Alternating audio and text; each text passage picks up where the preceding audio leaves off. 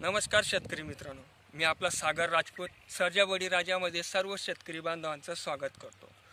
शेतकरी मित्रांनो मी ज्यावेळेस पहिला व्हिडिओ टाकला त्यावेळेस मला खूप शेतकऱ्यांनी मला सहकार्य केलं. माझे व्हिडिओ खूप आवडीने शेतकऱ्यांनी बघितलं. किंवा जे सर्व्हिस करतात सर्व्हिस करून शेती पण करतात त्या लोकांनी पण मला सबस्क्राईब केलं. मित्रांनो सर्जाबडी राजाला सबस्क्राईब करा लाईक करा कमेंट करा आणि शेअर करा. नाही जास्त तरी हा व्हिडिओ पूर्ण बघा. नाही जास्त तर मग मला समजतं की शेतकऱ्याला कोणी व्हॅल्यू देत नाही त्याला कोणी किंमत देत नाही हे मला चांगलं माहिती आहे आणि तुम्हाला पण चांगलं माहिती आहे. तरी मित्रांनो मी आज तुम्हाला किरण गोविंदम महाजन राहणार नागलवाडी तालुका चोपडा जिल्हा जळगाव. त्यांनी हा लोकोन नावाचा गहू पेरलेला आहे. तो गहू कशावर पेरलेला आहे? आताच्या पोझिशनमध्ये गहू कसा आहे? आणि ज्यावेळेस गहूला उंब्या लागतात त्यावेळेस तो गहू कसा राहील? मी हा व्हिडिओ तुम्हाला दाखवणार आहे. मित्रांनो आता त्यांनी एकरी म्हणजे चार एकर हा गहू त्यांनी पेरलेला आहे. त्यांच्याकडनं माहिती घेऊन मी तुम्हाला सांगत. आहे त्यांच्याकडनं माहिती घेऊन मी तुम्हाला सांगत. आहे त्याच्यानंतर मित्रांनो त्यांनी चार एकर हा गहू पेरलेला आहे. चार एकरमध्ये एकरी पन्नास किलो गहू त्यांनी पेरताना टाकलेला आहे. त्यांनी ट्रॅक्टरवर पेरणी केली आहे. दहा सव्वीस म्हणून मटेरियल येतं.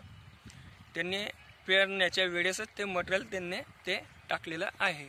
प्रत्येक शेतकरी टाकतो पण टाकून द्यायचं. उगम शक्तीला प्रॉब्लेम नाही आणि लहानपणापासून अष्टकष्ट असतं. तर मित्रांनो आता मी तुम्हाला सांगतो की त्यांनी गहू कसा पेरला. एकरी पन्नास पन्नास किलो कोणी चाळीस किलो टाकतं पण यांनी पन्नास किलो टाकलेलं आहे पन्नास किलो टाकलेलं तर गहू कसा आहे ते आपण बघू आणि हा व्हिडिओ बघून तुम्ही पण पेरू शकता.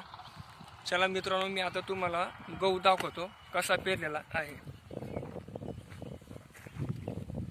हे बघा मित्रांनो हे ट्रॅक्टरवर पेरणी केलेली आहे.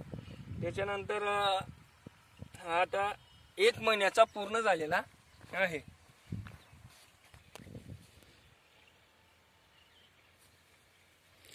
तरी हा आता एक महिन्याचा पूर्ण झालेला आहे. याला पाणी वगैरे एकदम भरपूर. मित्रांनो तरी पण मी सांगतो तुम्हाला एकरी पन्नास किलो पेरताना पण पाणीचा पण विचार करायला पाहिजे. पाणीशिवाय खोट्या गोष्टी आहेत. मी तुम्हाला दाखवतो. एकदम छान गहू आहे. असं वाटतं की वा वा. निले गगन केतले.